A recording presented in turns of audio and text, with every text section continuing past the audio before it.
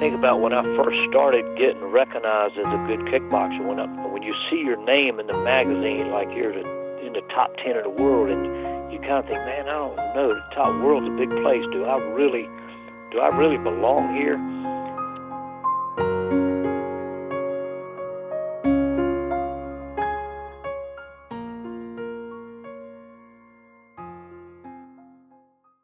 Hello, everyone. It's time for another episode of Martial Arts Radio, the show that brings you amazing stories from the world's best martial artists.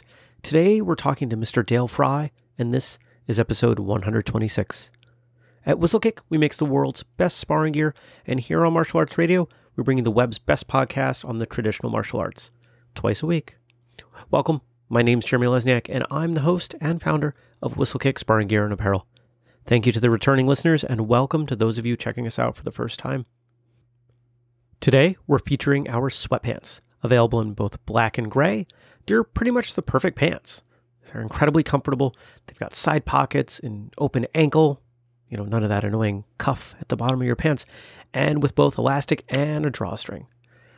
Check them out in both, like I said, black and gray, and maybe you want to get two pairs because you might have trouble wearing anything else. At least that's the feedback we get from some of our customers. If you want to see the show notes, including some incredible celebrity photos and links to everything we talk about today with Mr. Frye, you can find those at whistlekickmartialartsradio.com. If you're not on the newsletter list, what are you waiting for? We send out exclusive content, and it's the only place to find out about upcoming guests for the show. As a thank you for joining, we're going to send you our top 10 tips for martial artists, an exclusive podcast episode. Sign up for the newsletter at any of our websites.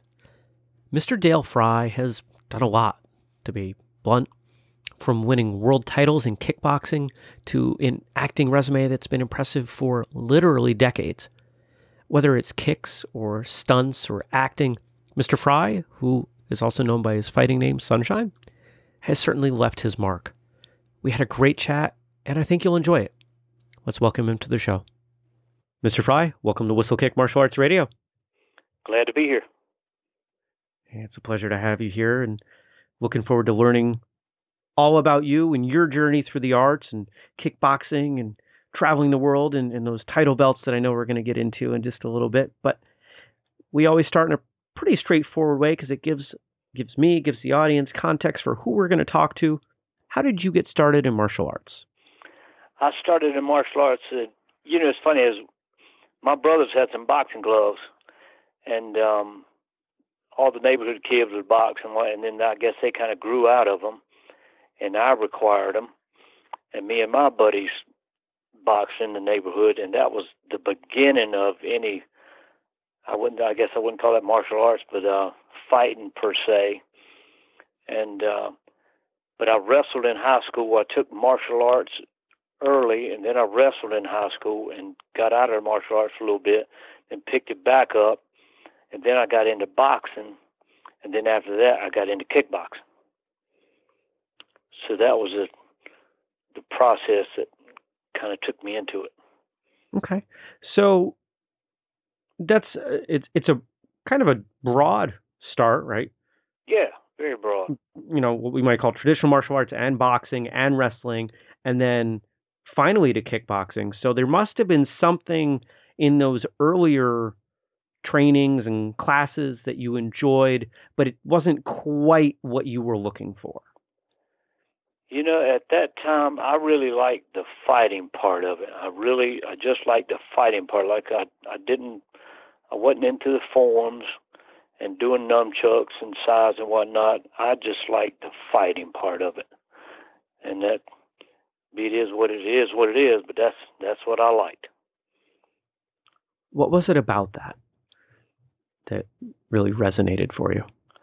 You know, I wish I could put my finger on that, Jeremy. Um, one time, me and my buddy was sparring. We were boxing at his house one day. He's got a little gym set up at his house, and we sparred five or six rounds, beating on each other. And um, after the fact, I hugged him. He hugged me, and I said, "Man, that was fun." And it has never hit me before until that day. I said, "Man, we just sit here. This is my buddy Randy Ballard, who was the trainer as well." It never hit me until that day. I said, wait a minute. We just sat here and beat on each other for six rounds, and it was fun. And it's like, man, maybe we need to be looked at or something. Maybe we need to be checked out because that doesn't it, it just it doesn't seem right, but it it is what it is. And I wish somebody could shine some light on me.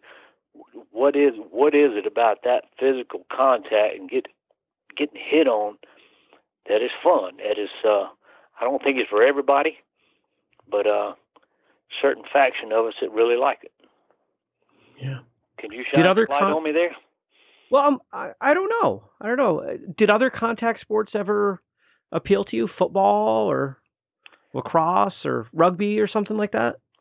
You know, I raced motocross back in the day, and that was not really a motor. That was not really a contact sport. It's it's physical, but uh, I guess I was too small to play football. I did play football a couple of years in junior high, and uh, like I say, maybe the wrestling. But um, I did really well in super in motocross. But no, It's an no, intense sport. and You're, I, I, you're I, I love basketball. I play basketball. I love playing basketball. But that, like I said, I wasn't really.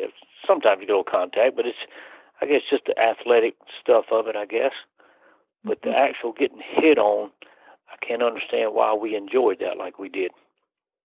well, maybe as we talk, we'll come up with some theories. We can There you go. we can talk about it some more. I mean, who? Hey, You know, maybe some viewers can pitch in on that and help us out. Yeah, That's right. Some listeners, So- I should say. Right, right. I mean, we'll we'll put some pictures up, but no. F- fortunately, this is not a video show. I am certainly not dressed for anything of that nature. I'm standing here in athletic shorts and a t-shirt. Not really the way I'd put myself out there if this was a video show. well, as long Now, of course, you had some time traveling and, and kickboxing and some titles and, and things like that. And, you know, everybody's got their stories, and I'm sure you've got a ton of them. Hmm. Tell us your best one. Like, if somebody pinned you down and said, you know, you've got to Well, one that entertain out- us with your, your greatest moment, what would that be? one that sticks out was probably you know it's funny how once you retire which i've been retired probably 12 years or something like that once you retire you think about it's crazy the ones you think about are the ones that you lost you know even though uh even you know i was out in south dakota one time and i saw this sign i think it was sitting bull and he had this reporter, this um, American reporter, had been following this big Indian seance thing they have every year, lasts like a week, and he had been reporting on this thing, and he asked Sitting, I think it was Sitting Bull or Crazy Horse, one of those two Indian chiefs, and I read this on a sign out there, and he said, "Look, I've been here for a week, and I have not heard anybody say anything about the Battle of Little Bighorn, which is the greatest American, I mean, the greatest Indian victory of all time. You know, when they beat down Custer, you know, Custer's last stand and all that. Right, right. And Sitting Bull said, he said, yes. He said, victory is sweet, but it is fleeting. But defeat lingers longer and cuts deeper. And I said, wow, that, and that's the way it is in kickboxing. Now, I have obviously won more fights than I've lost, but those ones that you lose really stick out. And, um, I fought a kid with my first. I, I had a chance at my first world title in Memphis, Tennessee. I was fighting a kid by the name uh, Norris Williams, and he had been knocking out everybody in the second, third round. So I went out there, kind of being a little bit cautious. I said, "Man, I don't want to go home until everybody got knocked out in the second or third round." So I was a little bit cautious those first couple of rounds. And then after about three rounds, I said, "Man, this guy didn't hit any harder than anybody else I've been in with." So we went at it for 12 rounds and he beat me in a 12 round fight. He beat me by one point for a world title, and it Wow. was crushing, man. I mean, I literally cried in the draft, and I still get a little choked up today when I think about it. But um, he was a great fighter, and he he won that fight, and for whatever, maybe I shouldn't have been cautious to begin with. Whatever, it wasn't meant to be, but it taught me a lot. And you had to pick up, and he moved up. I, I think he moved up in weight and about a year later I got another shot at a world title and was able to win it then. So um and I won some other titles in some lesser divisions as well. But um those defeats, Jeremy, really really stick with you and you know, I could say I probably lost only two fights that only I really got beat at. Um I had to lose weight a lot of times and cutting weight sometimes I would I would catch a little cold or get a little sick or something. So I would, I fought plenty of times. I won some fights when I wasn't 100%, but a lot of times I would lose fights because of that. And when I lost my title, I was, uh, I was as sick as I could be. But still went 12 rounds and lost 12 round decision. But that's, know, that's what you do. You know what I mean? It was, even though losing weight was hard, I couldn't just advocate the title and say, look, I'm going to just give this up because I worked hard to get it. And later in my career, I started lifting weights and bulked up just a little bit. I mean, got a little muscle on it, but that made it even harder to lose that weight. So, but one story that sticks out is that when I lost my first world title is when I lost, and uh, and I didn't I didn't go crazy. I didn't quit, stomp. You know, I did cry a little bit and picked up the pieces and moved on and had a nice career after that. And uh, when I did, I, I held my title for six years straight. So that was a a big accomplishment. So getting the title is one thing, but holding on to it is quite another. Yeah, yeah. There's a lot of pressure when you're the champion. I would Yeah. expect people expecting you to win, and some people respond well to that kind of pressure. Some people, uh, and I, I'm in this category, do better being the underdog. hmm So when you when you lost that fight, what what was it like to recover psychologically from that? I mean, physically, I think everyone can understand what that's like. You know, you're banged up. I mean, we know how to heal physically, but something that meant so much to you and to be so close. Well, like What was that, what was that uh, like to? It, it is a blow, man. That is sure because I had been working very hard, and this is your dream. When you start, it comes a point when you start thinking, man, I'm I'm going to be a world champion. I want to be a world champion kickboxer, and that's your dream. And I obviously had the, the kicking background and the boxing background, and I would have never been a world champion had did I not have that boxing background. I'll I'll say that to anybody. But the boxing part really helped me. Even though I had good kicks, the boxing really saved me. It really helped me out a lot. But uh, it you know it's, it's like losing a girlfriend. Um, you have to you have to just put in some time, man. You have to put in some time because this is a dream, and you've been working this hard to and and to get that close to it, and then it's like having the rug pulled out from under you. But like I say, and, I, I'll go to talk to kids and stuff at schools and whatnot, and I'll and I'll tell them this story. I'll say, hey, in life, you don't get everything you want. You don't get the girlfriend you don't. You don't. You don't get the girlfriend that you want. You may not get the job you want or the tennis shoes you want. And that, and I will say, you know, you don't. You don't just quit. You don't start drinking, going crazy, doing drugs, and just try to wash it out. You just suck it up, and and, and time, like I say, time heals everything. But um, but that, but that, there it was a tough time, and even when I went back, when I went back, you know, I always take a little time off after a fight, and when I went back to it, having that same spark, it, it took a little bit, and and but it's it's like I say, you just have to put in put in some time.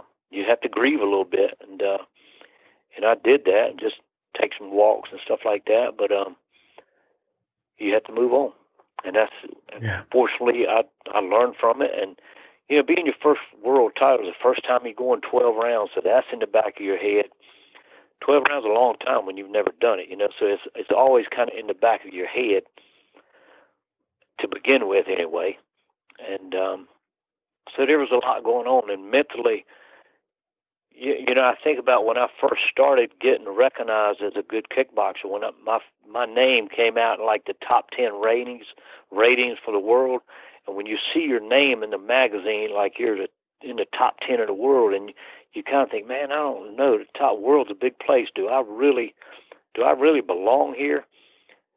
Am, am I that good? Or so you kind of question yourself sometimes, and then as you grow, and, and and I'll compare it to like going to school. You go to first grade, second grade, third, and you go all the way up, and there's learning steps along the way. Is how you how you develop. You know, you're young, so you you, you know, there's something to be said with maturity and age. You just learn stuff and pick up on stuff. And like when I wrestled, man, sometimes I either won or lost before I ever got on the mat because mentally I knew who this guy was.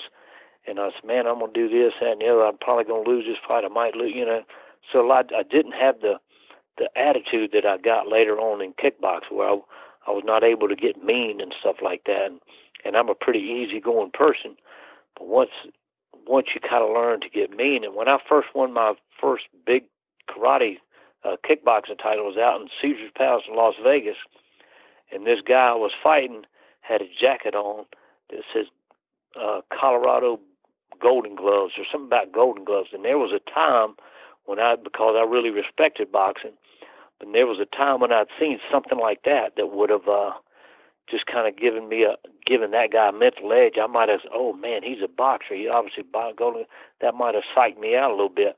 But that was the day that I said, man, I don't care if he has a jacket on that says I just beat King Kong. I'm going to beat that boy's ass today. That's it's just the way it is. I'm going to be. I don't care what he's done, who he beat. He's got it coming today. And and that particular day, that night, day, whatever, that was when it really hit for me. And and and my whole personality. You know, you can have all the physical attributes you need, but you have to have the full package: the mental, uh, the mental, the physical, the the skill, it's all got to come together, and the, even the spiritual part of it comes in, and it. uh But that day is when it really, really hit for me, where I, I became a world caliber fighter that day.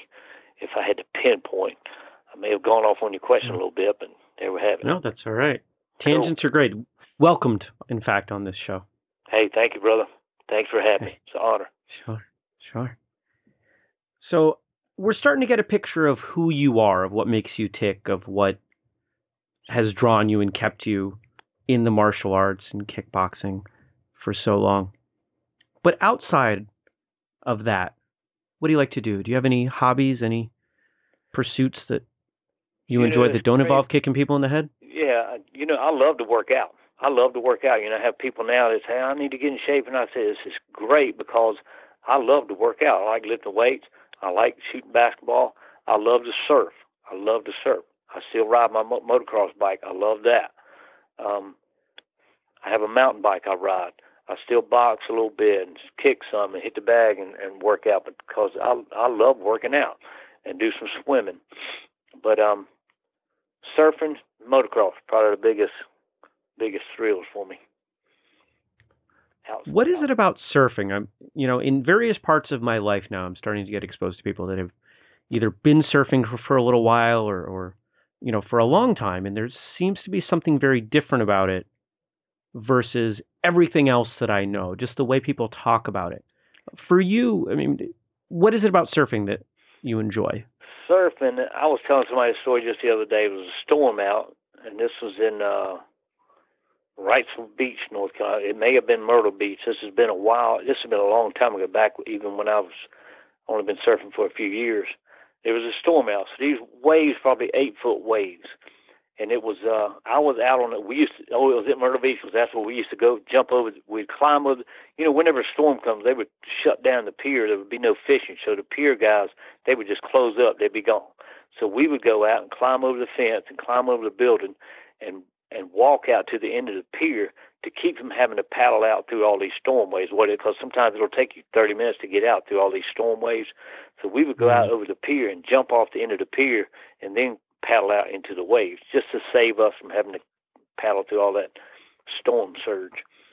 But uh, I was out on a day like that, and the waves, you just rising up with the wave and then coming back down when the wave would go over you.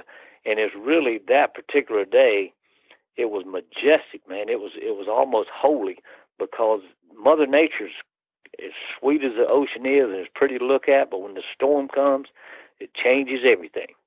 And it was just it was just it was just like uh it was golly to be sitting out on that water on a surfboard surfing, but just being being in it, you can hear the waves breaking around, the wind whipping around, and but it, it is uh majestic, man. It was it was that that was one feeling that I'll never forget. That was a highlight of my surfing career right there.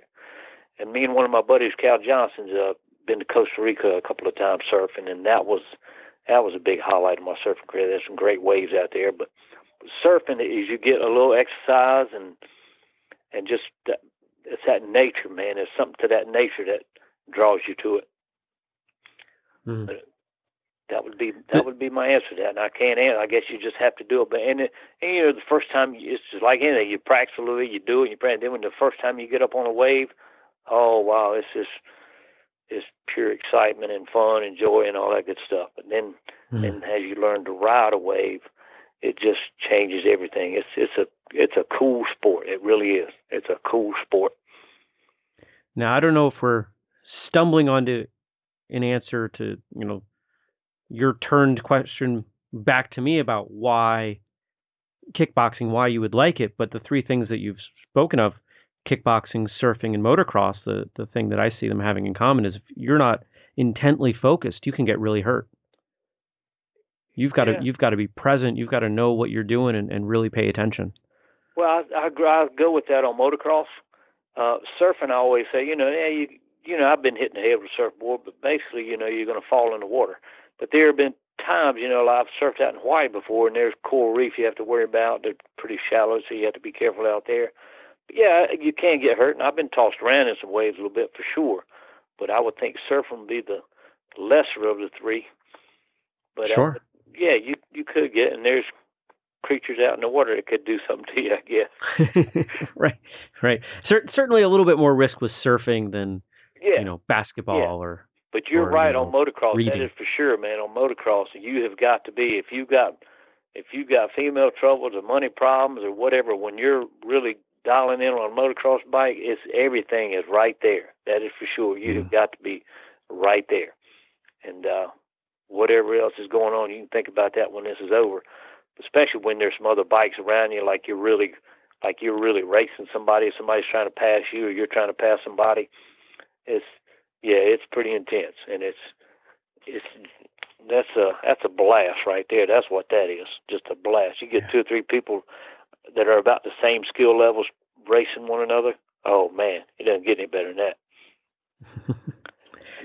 so you've talked, you've mentioned a couple times about troubles and bringing your troubles and having to ignore them. And I'd like you to tell us about a time in your life where something didn't go right I mean, you talked a little bit about that first world title opportunity, so let's take that one out of the mix.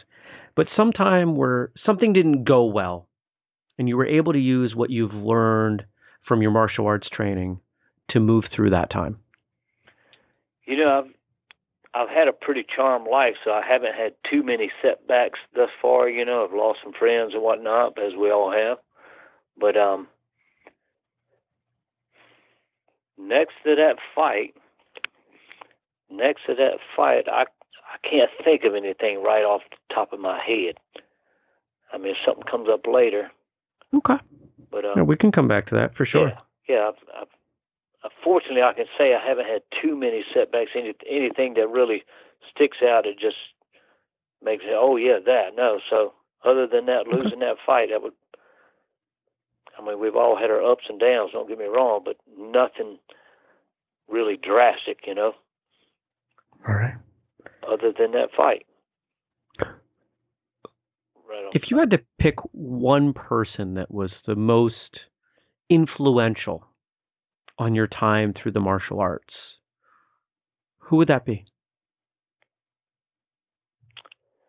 You know, I like Sugar Ray Leonard. I pulled for him, and I know he wasn't a martial artist, but he was a boxer. But um, and this I would have to say my brother was more the most influential person. I don't know if you say, uh, you know, I spent time I trained with Joe Lewis when Joe Lewis was first making his comeback. He uh, was working out. We were both working out at a Fort Bragg gym, and uh, in North Carolina here. So that was that was cool having him there and around. We became pals there, and uh, but I would have to say the biggest influence on would have to be my brother Bruce. And he is not. Tell, a, tell us about Bruce. Bruce played. He's uh, he played a little country progressive country music band back in the day, and uh, he had a nice following. He was well thought of. Had a nice, a great band, and I think he was a little bit ahead of his time. He's kind of like the country people are now. He was kind of like that, you know, 20 years ago. So um, I think he was a little bit ahead of his time. But um, he got saved. I can't remember exactly, probably eight years ago, something like that. He got saved, and now he's evangelist. He goes all over the place telling his story and still plays music and has a couple of Christian CDs and that type thing. And but he was uh he actually did a little boxing with me as well. He actually started kind of when I started, but he was doing the music thing, so um he actually had a couple of amateur fights.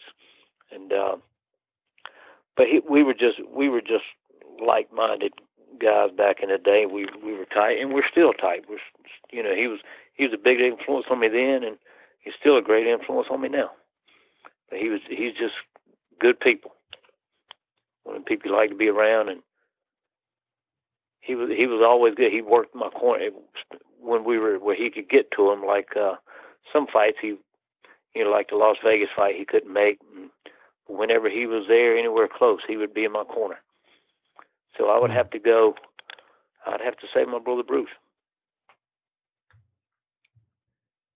It's nice when those family ties can can offer support, and I don't know that I would say it's a recurring thing, but it's you're certainly not the first one to name an immediate family member. It's often mm-hmm. a parent, and just but to have that support from such a close perspective, mm-hmm. I think is pretty important when someone's going to compete at, at, the level that you did. Certainly, um, you know, to have that foundation of the people that you love and you trust to know that they're going to be there for you and they support what you're doing. I mean, that's that's got to be pretty meaningful.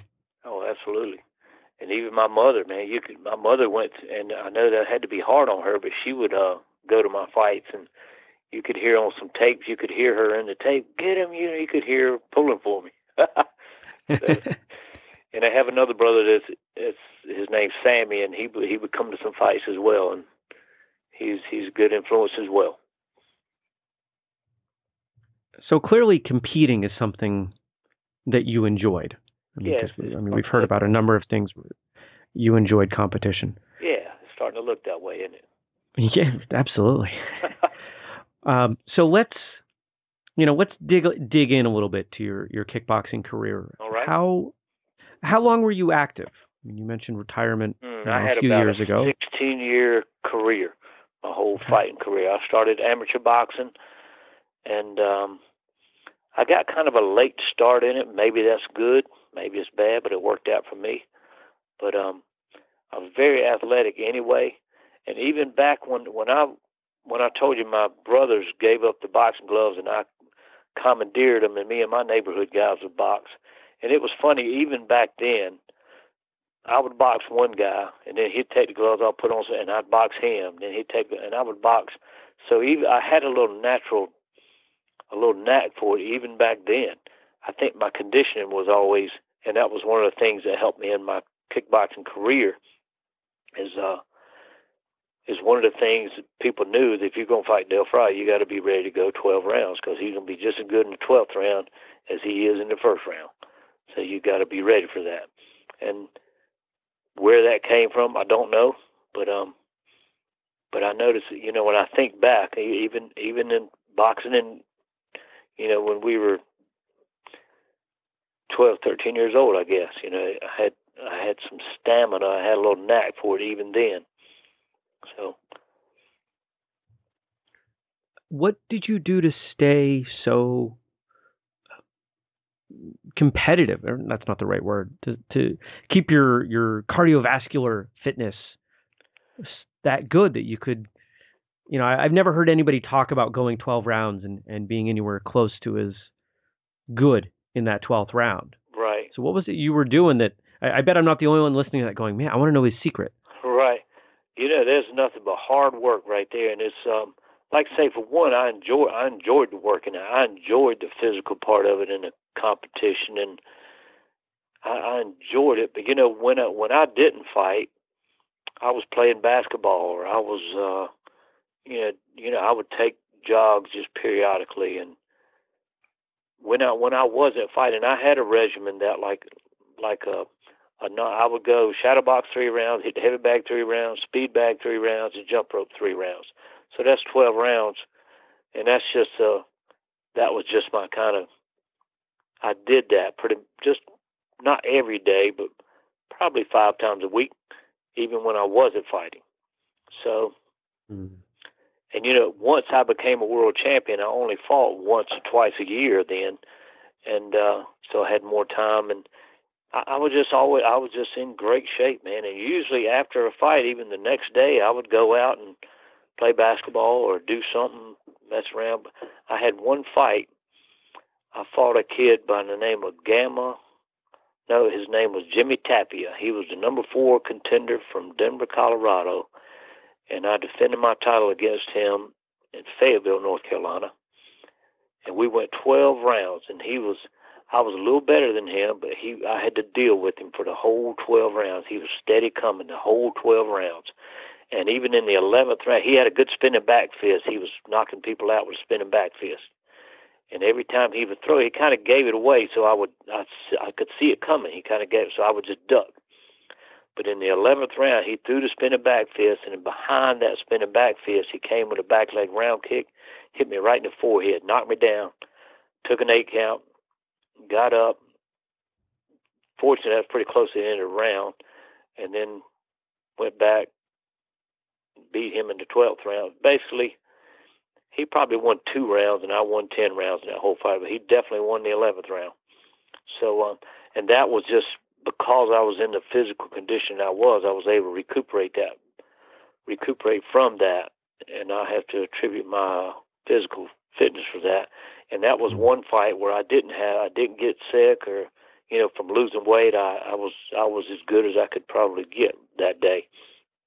And um, but that that was the only only fight I ever had where the next day I just kind of laid around, watched football on TV, and just just kind of laid around. But every other fight besides that one, I was out doing some. You know, it didn't really didn't really affect me too bad. Really? Wow. That's pretty impressive. Yeah.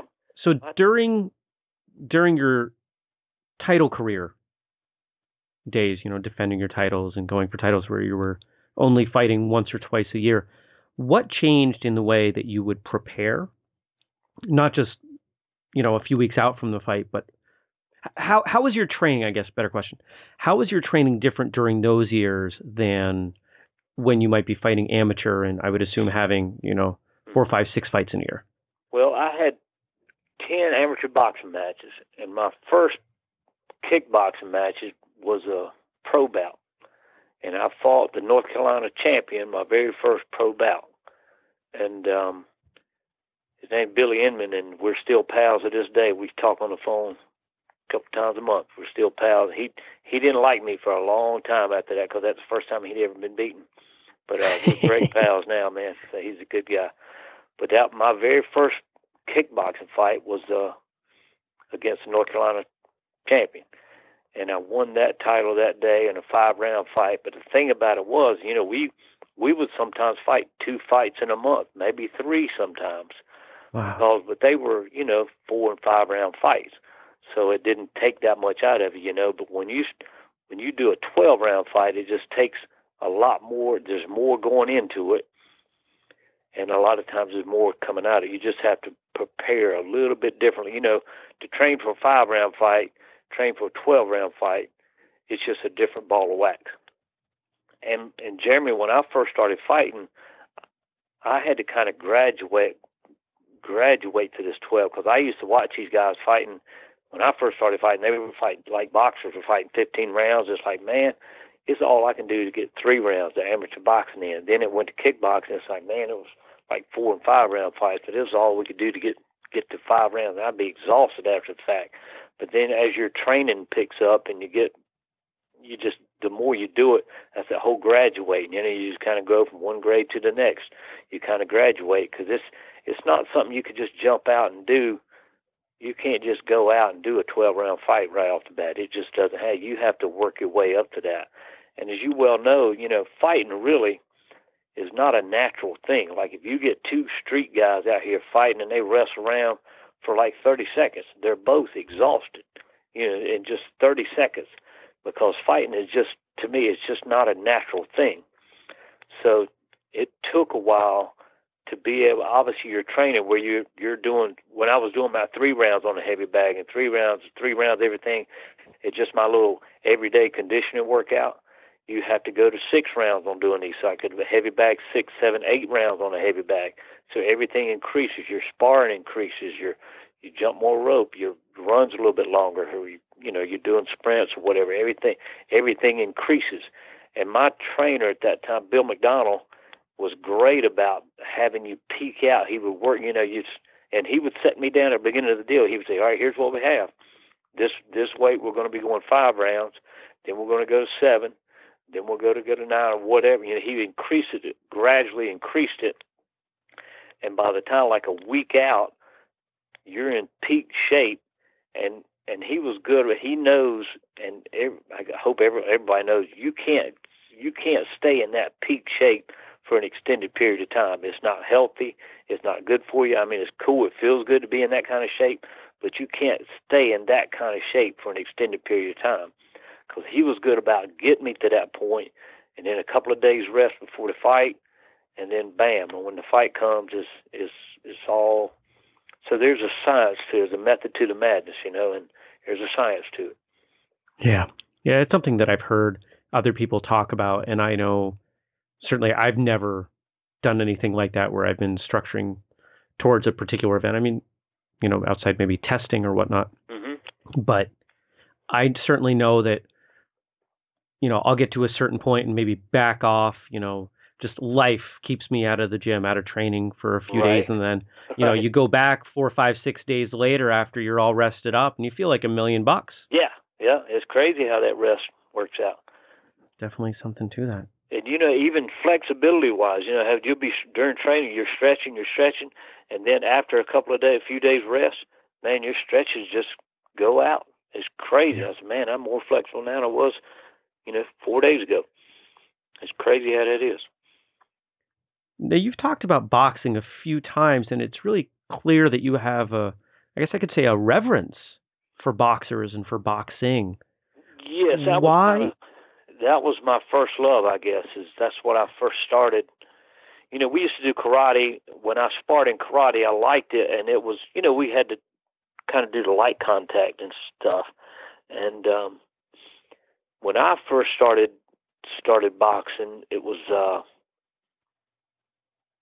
it was like a white guy that was good white. He could he could do well. You know, he could do. And a lot of times these these managers per se would scoop these white guys up and give them some easy wins, and they'll be ten and zero, oh, and then throw them in with somebody even a champion maybe, and they'll get wiped out. But it makes some money. The manager makes money off of them, and that type thing. So I never, I never got. I was kind of looking to go into boxing to begin with, but I met Bill McDonald, and he asked me to come down to help out his kickboxers with some boxing, and I did and there was a girl there that was going to do a karate tournament that following weekend, and she didn't have anybody to spar with. So I said, "I'll kick around with you." And then when he saw that I could kick, he said, "Man, you gotta, you need to get into this kickboxing, this and that and the other." And I said, "Well, I I think I'm okay with just two hands coming at me right now." But then one thing led to another, and I really didn't find a manager per se that I felt good about doing business with. So I I said, "I believe I will try this kickboxing." And uh, at first, they'll say, you know, when kickboxing first took off, you were either a kicker or you came from the boxing background or you came from the karate background. And I obviously kind of had a little bit of both, but I was a much better boxer than I was a kicker. And then as it went, my kicks, as you kind of go up the ladder, especially when you get to that upper echelon, you have got to be good at both. You know, when you get into the top 10, you have got to be good at kicking and boxing. As simple as that. It's just like the UFC guys now. Some of them have they're good boxers. Some of them are good wrestlers. Some of them are good kickers. But as they get better, you get to a point you have to be good at all of that stuff. And that's the way it was in kickboxing. And that's the way I, you know, it was either when I was fighting, I was, especially beginning, I was either boxing or I was kicking. It was another box kick, box, you know, punch kick, punch kick. But later on, I was able to mix it up, but not at the beginning of my career. Mm. But I'll still say I, I had a, a, big affinity for boxing. That's for sure. I have I have a huge respect for boxers. To this day, that was that was my first love for sure. When you're working out now, You know, how much of it is is boxing, how much of it is kicking? Eighty percent of it's boxing. Really? Okay. So that that tells us a lot. Yeah, yeah. But I still kick. You know, there's more. Like, there's not a lot of kickboxers right here now. Everybody's doing the. A lot of people are doing the the ground game and all that. And I've gotten into some of that as well and enjoy that as well. But and I can I can see the parallel between the the UFC stuff and the kickboxing back in the day because, like I said, some guys are either this, that, or the other, and then as you get to it, you got to be able to you have to be able to good, be able to be good on the ground, kicking and boxing. So I, I see now a lot of parallels between the two. I've asked this of some of the the guests that we've had, uh, mm-hmm. and I don't think we've done it on air, so I'm not going to betray their confidence. But we've had some that started in kickboxing, you know, decades ago, and I've asked them, you know, had mixed martial arts been available to you at that time, do you think you would have gone that route instead? And they've said yes. Would I ask the same question of you if MMA had been something you could have participated in rather than kickboxing? Would you have chosen it? I'm sure I would have been right in the middle of it. I'm sure because I had the kicking. I mean, it would have been right up my wheelhouse because I had the background, the wrestling background. Even though some wrestling stuff doesn't work in in grappling, you know, it's but it, you you get the same, you get the concept, you know. Um, yeah. I had the wrestling background, I had the kicking background, and the boxing background. Yeah, I think it would have been a pretty natural fit for me, and I'm sure I'd have been right there. And I'm glad I'm glad it wasn't around because I don't like I got cut a few times sparring and in some fights with elbows, getting hit with elbow. And I'm gonna tell you, when you get hit with elbow, it's just it, it's going to happen. You know, it's it's amazing when people do get hit with an elbow and they don't get cut. It's amazing to me. But uh, I've been cut a few times and, and accidentally getting hit with an elbow. But uh, and I'm I'm thinking, man, I'd have been cut up. You know, when I'm I'm in a way I'm glad it wasn't around because it's it's a rough sport. I mean, it's rough, probably no rougher than what we did, but just so the elbows and knees just add a whole new dimension to it. Sure do. But it but it's fighting is is fighting and that whole competitive. I'm sure I'd have been right there. Yeah. So you've mentioned some some big names. You know, well, I mean, you mentioned one really big name, right? Joe lewis That you had the opportunity to work with him, and you know, you and I have talked a little bit offline. You've mentioned some names, and I'm curious if you had the chance to work with someone that you didn't, and we'll open it up. It could be somebody from you know long ago that's passed on, or somebody that's still alive today. Who would you want to train with? Well, everybody. I think everybody was probably, and I guarantee you, when you ask this people, you've asked this question before, right? Oh yeah, we ask this of every guest. I'll bet ninety percent of the people say Bruce Lee. That right? Not quite ninety, but it's it's probably right. sixty to seventy percent. Yeah, it's a it's a big chunk. You know, um,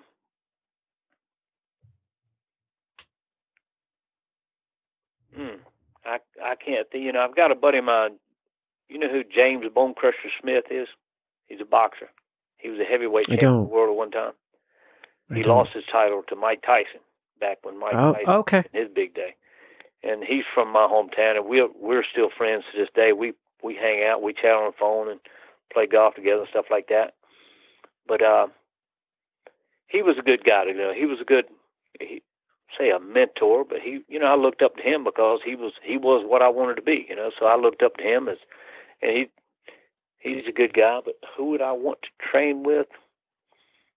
Man, I had some good guys that we trained. We one of your guests, Kevin Hudson and Brendan Carpenter, and my buddy Randy Ballard and Tony Googe and Ronnie Copeland. We had we had a good group of guys that to this day that we fight, we fight, and we spar each other, but we are like brothers, and um, to this day even, and um, and I think that bond, that bond of fighting with somebody, it does something. I don't know if you've ever gotten this before, Jeremy, but it's something when you when you get in the trenches with somebody and beat on somebody and they beat on you, it, it kind of develops a little bond with you. As crazy as that sounds, but uh, you know nobody. We heard that.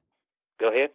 We we heard that from Kyoshi Kevin Hudson when he was on. Mm-hmm. Uh, his episode came out um, just a couple weeks ago. Now, when we're recording this, it'll be a few weeks Mhm. prior to when your episode comes out. But he said the very same thing, and I think we even pulled a quote about that out from that episode. We always, we always do that and list out a quote at the beginning of the episode. And it's something that I haven't experienced in that way. You know, I've certainly built bonds with the people that I've trained with, but Sure. there so, seems to be a really strong component from the I don't want to call it violence, but the the the physical pain Yes. that you're sharing with someone Yeah. else. And I'll tell you on a bigger level, you can you can look at a football team, and I'm sure some of these football when these guys get together, they're thrown together in a group, and they work hard. They work, they work, and they they become friends. They become brothers.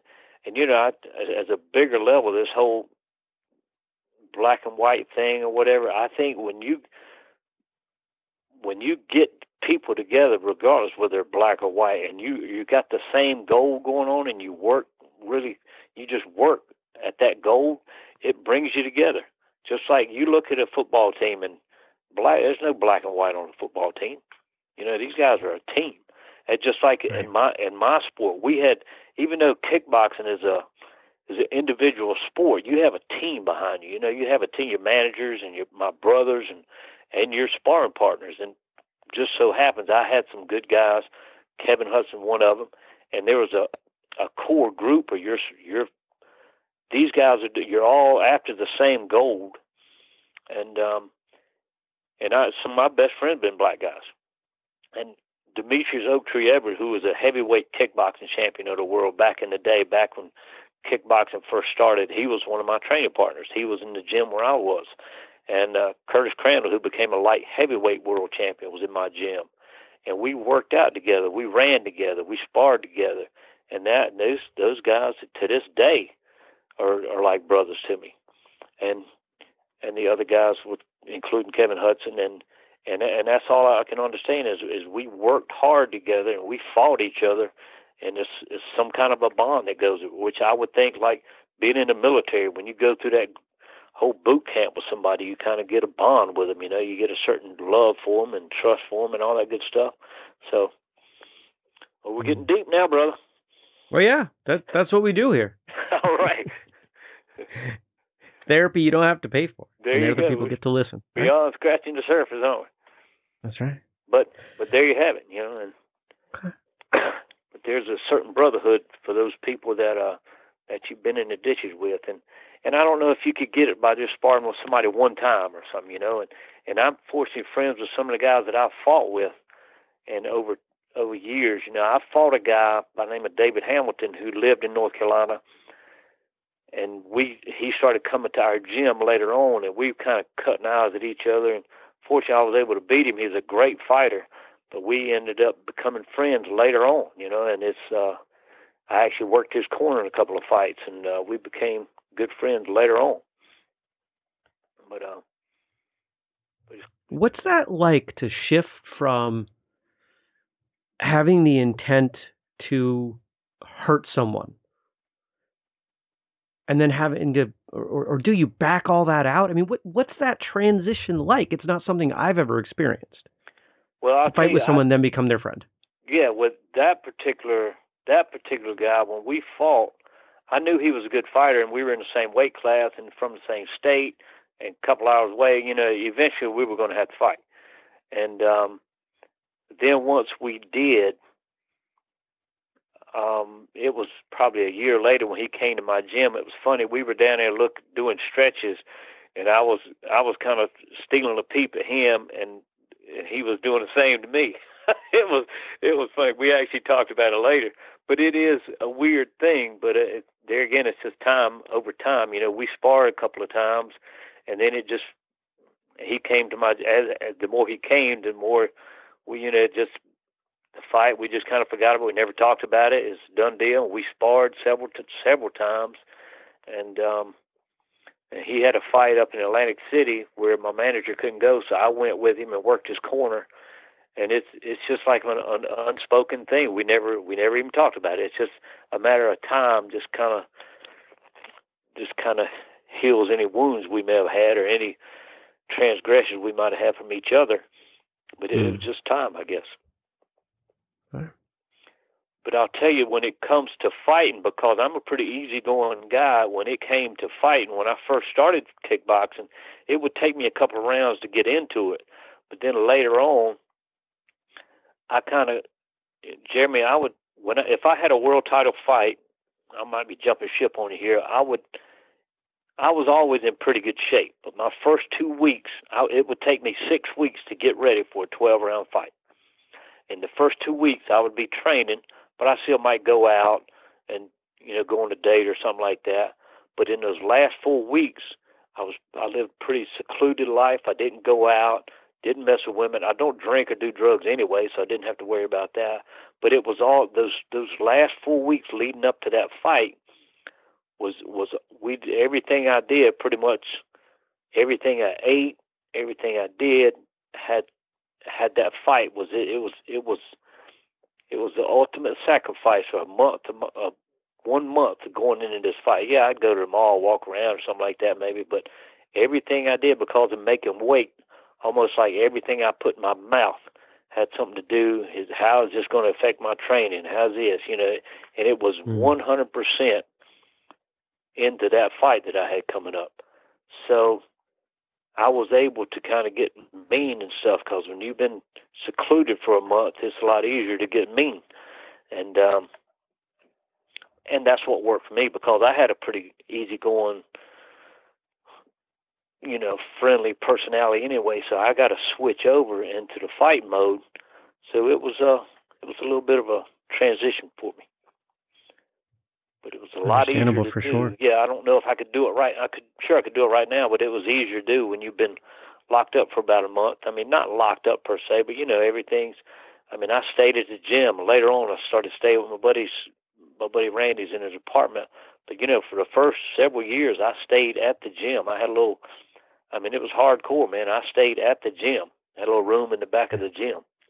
You were focused. Yeah, that, that's what it was. It's focused. It was one hundred percent. Absolutely.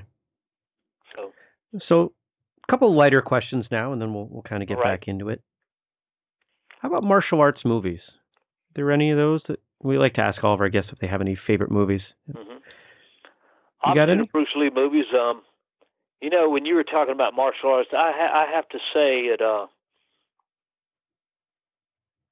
uh, Chuck Norris was uh, I, I I would would like to hang out with him a little bit, and I had the chance to meet him a couple of times. One at a fight in El Paso, Texas, and one out at Las Vegas, Nevada. I met him a couple of times. Super nice guy both times I met him, and and I've heard that from a lot of different people. But what yeah. makes me stand, what makes him stand out for me is, is I fought a guy named Troy Dorsey, who we are friends now as well, and uh, in El Paso, Texas. And I'm coming from North Carolina sea level, and El Paso has a little altitude to it. And he beat me an eight round decision. But after the third round, it was like, man, I'm gonna just try to keep him getting knocked down. I couldn't breathe, man. I had no idea they had altitude in El Paso, Texas. But um, he's a great guy. But he won the fight. But Chuck Norris, as I was leaving the ring, Chuck was there, and he made an effort. He made it. He saw me coming out of the ring, and he made an effort. He came over there and hugged my neck, and uh, that always meant a lot to me, and I I really admired him for that. And I mean, he's he's a a great guy, great guy, and uh, yeah. Yeah, without a doubt, he's a class act. We've, yeah, we've he's heard a that. class act, man. But I'll, I'll never several forget on this that he show. made it. He made an effort, and he, obviously he, just, he knew I just lost a fight, which is not good, but he made an effort to come over to hug my neck to, you know, wish me the best. And the next time, several, I know he won't remember me, but several years later, I saw him out in Vegas, and he's very friendly, very approachable. And uh, I think people see that. That that movie, Walker Texas Ranger, the television series, I think people see that. He may not be the best actor in the world, but he he's a he's a good guy, and I think that comes through on camera. You know what I mean? He's not a bad actor. Don't get me wrong, but per se acting. And I'll tell you, um, Brandon Lee, was a was a class act. I did a movie with him called The Crow, and he was a class act. Now I never got to work out with him or anything like, but we spent some time together, and and and I I don't know if we're talking about movie stuff yet, but I have a good story. Yeah, let's let's yeah let's talk about movie stuff. I mean that's Okay, a piece well, that we really haven't movie- dug into. Now I did a movie called The Crow with Brandon Lee, which he got killed in. Right. Before that, somewhere along the lines, we were sitting around on on set, and I had the chance. He was just a class act, Jeremy. He's just a cool dude, and I had the chance to walk up there and I said, "Look, I may not get a chance to tell you, but I just want to tell you, you are one. You're you're just a cool guy, and I want to say, man, it's it's awesome to see that you're just a cool guy." And uh bless his heart, he said, "Hey, you're you're the same way, Dale." I said, "Yeah, but I'm not star of the show." So that's the big difference here. But uh, he was just one, just just one cool guy. It was a tragedy that happened to him, but he was one one one good guy. That was somebody I believe I'd like to have hung out with. That's for sure. He was a class act. What other films have you been in? Obviously, my first movie was the movie Cyborg with Jean Claude Van Damme, and Mhm. uh, I had a great time. Looking back now, I've done about ninety movies versus and television things, but that was my first movie. And people say, "What's your favorite movie?" And Cyborg was definitely one of them. And um, cause it, I guess it was a new experience. Had had great fun doing some cool stuff, meeting some nice people, and uh, if you have any female listeners, the movie The Notebook with uh, Ryan Gosling, I doubled him at the very beginning of the movie. This guy likes this girl, and she's riding a Ferris wheel with another guy, and he runs and jumps on the Ferris wheel as it's going. That'll be me. And then, Oh, neat. yeah. I've seen that movie. Have you seen that movie? Cool. I have. I have. Yeah. And then he's hanging off the Ferris wheel, saying, "Come on, go out with me." Do you remember that part? Yeah. Right, he's hanging That was you. Ferris wheel. That was me. He did some stuff as well, but he, whenever he sees somebody free hanging off the Ferris wheel, that'll be me. If you remember, she actually reaches up, undoes his pants. He's got, he's hanging off the Ferris wheel with his pants hanging around his ankle. That'll be me. Good times.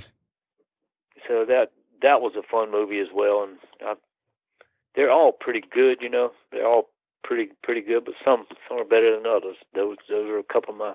The Crow was the Crow was an interesting movie. That's for sure. Met some nice people there. Did some cool stuff. What was your role in that movie? The Crow. Um, there's a big table of bad guys sitting around, and I'm one of those bad guys. And Brandon Lee comes and stands up on the table. He has a little dialogue with the main bad guy. He wants somebody who's going to kill somebody, and our main bad guy has a little. Like I said, they chat for a little bit, and then our main bad bad guy said, "Man, shoot him." And there's probably twelve stunt guys. They're all stunt. We all shoot him, and he falls off of this table. And I walk up there and put my hand on the table and look where he should be, and I look under the table and I said, "Man, he's gone." And then he shoots me in the head, and then he commences to killing everybody else on the table. So that was my part in that movie. And I did some other stuff as well in it, but that was part you can actually see me. That movie's a classic. I mean, that's Oh, it is. It's a lot of people have, have spoken of that as a a little cult movie. type. terribly underrated cult Yeah. film. Yeah. Well, I'll tell you a part at the very beginning of the movie. I'm going to tell you, you talk about somebody digging deep.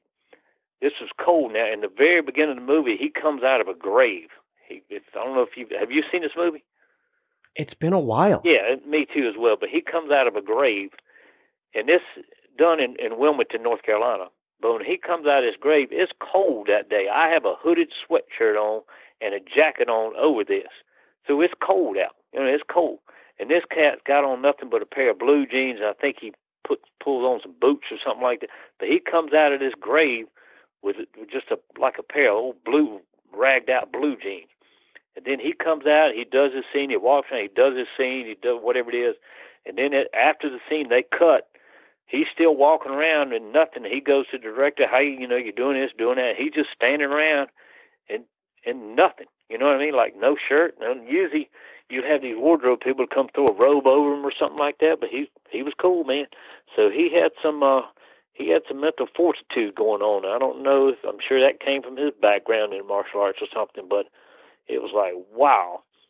It, to this day, it's amazing to me how he could do that. Cause I mean, I hate the cold anyway. But he, you know, he was from I think California, living in California at the time. Yep. I'm surely he wasn't used to it, but uh, he had his zen going that day, man. I tip my hat to him for it.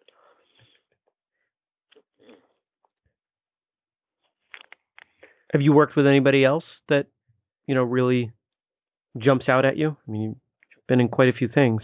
You know, um, I've been with I've been with some. I've done a show with John Travolta, and he I, was- he's a nice guy. I did a movie with uh, Mel Gibson, super nice guy. I thought he was just just very affable guy, very approachable, super nice guy. Bruce Willis, Die Hard Part Three, Die Hard with a Vengeance is called. Just a just a very approachable, nice nice individual, and. uh and Jean Claude and I had a had a good time on the set. You know, a lot of people don't like Jean Claude. Some people love him. Some people don't. But um, I got along with him great. We had a great time. And um, but I did a movie with Kevin Costner, and he was he was pretty friendly as well.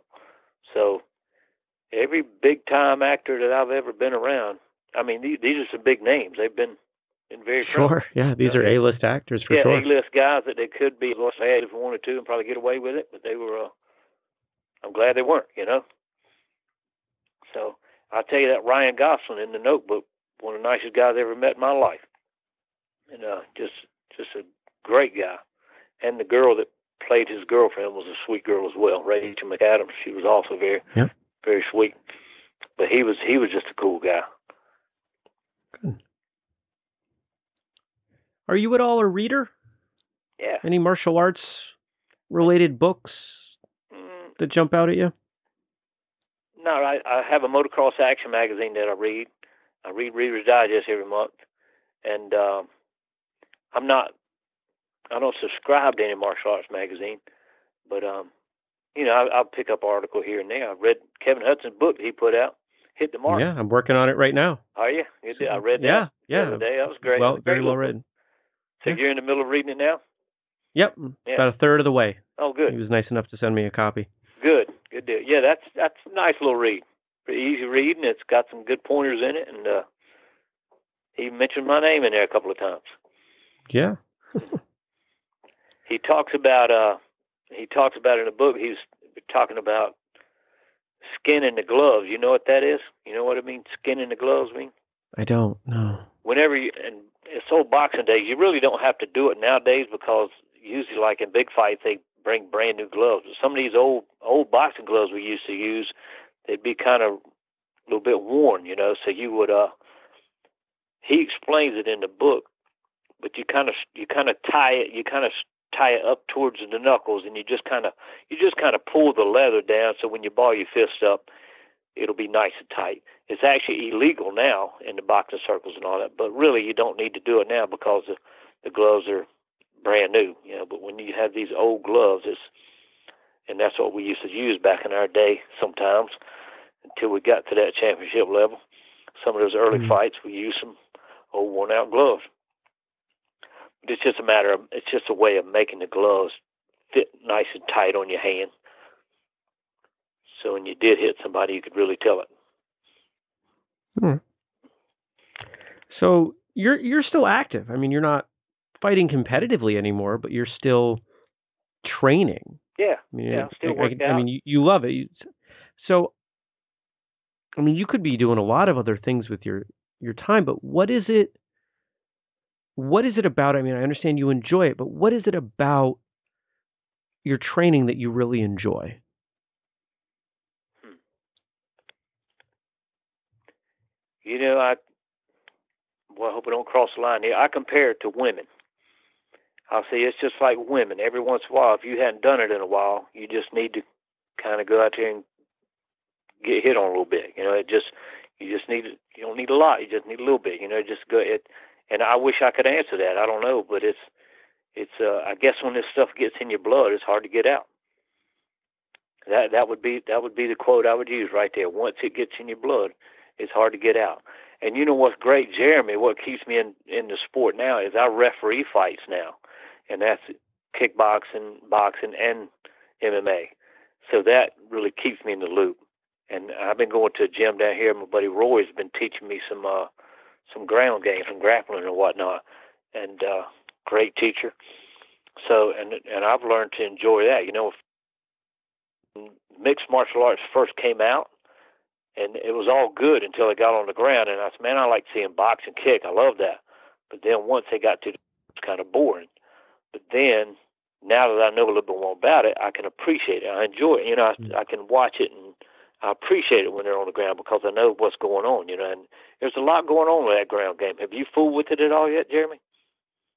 Um, I I've got a little bit of judo, a little bit of jujitsu in my background, but not you know not as a MMA you know combination. Right. I like staying on my feet. There you go. I'm you know, my buddy Randy says these guys always talk about MMA. Say, oh, 90% of the fights end up on the ground. The 90% of the fights end up on the ground. My buddy Randy said, yep. But guess what? A 100% of them start standing up. so I, said, I love that. Yeah, I love that. 100% of them start standing up. I said, that's, that's a good quote right there. I'm going to use that. So what else is keeping you going? You got any goals? I mean, do you ever get the itch to get back in the ring and compete? You know, it was funny when I first um when I first retired.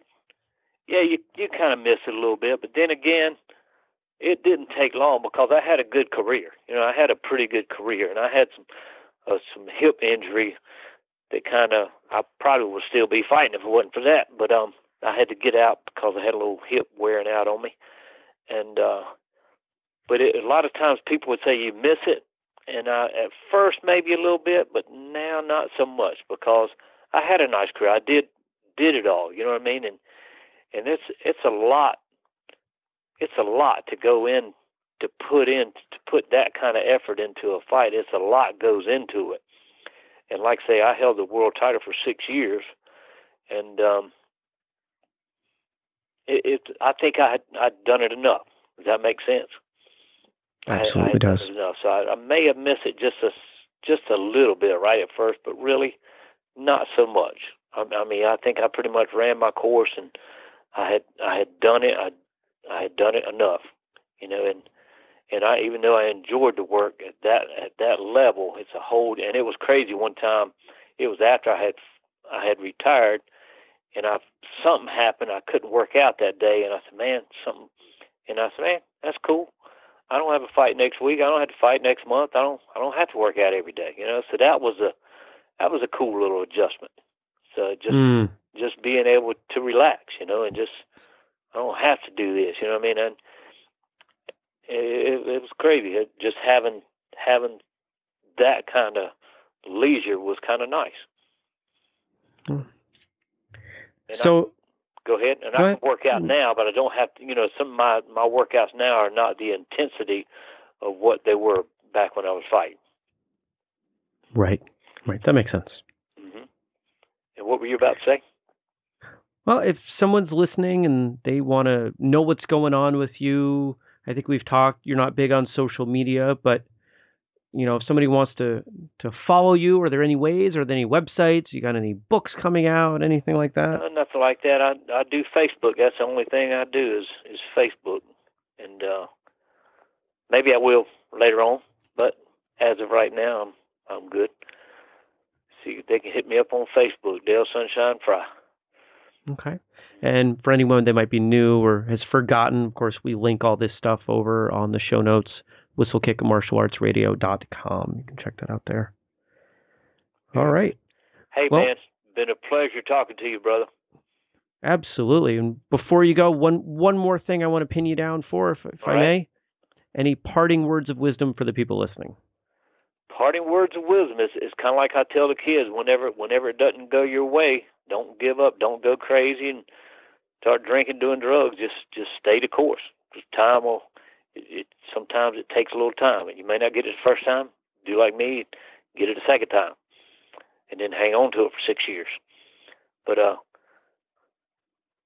it is what it is. That's my favorite quote. It is what it is. If that helps anybody, hope so. But just stay the course.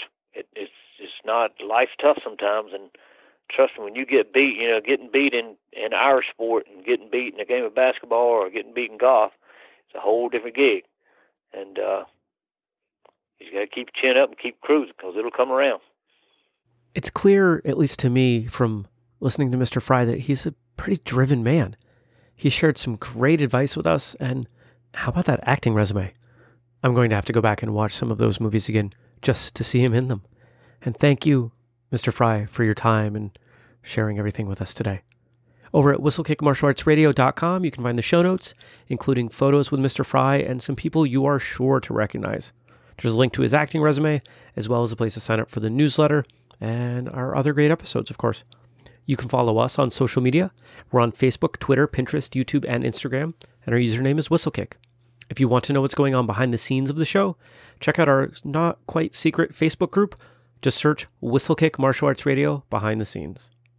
We're always open to new guests for the show, so if you want to throw your hat in the ring, or perhaps your instructor or someone else, head on over to the website, whistlekickmartialartsradio.com. You can fill out the form there. If you have any feedback, we'd love to hear that, and can you do that on the website too. If you like the show, make sure you're subscribing. You know, we're always asking for reviews because they help us spread the word of the show and they push us up in the rankings, and then new people get to find us so we can keep that whole cycle going. If you like what we're doing, this is the best way to help us out. And remember the products you can find at whistlekick.com, like our comfortable sweatpants. If you're a school owner or team coach, remember wholesale.whistlekick.com. That's it for today. Until next time, train hard, smile, and have a great day.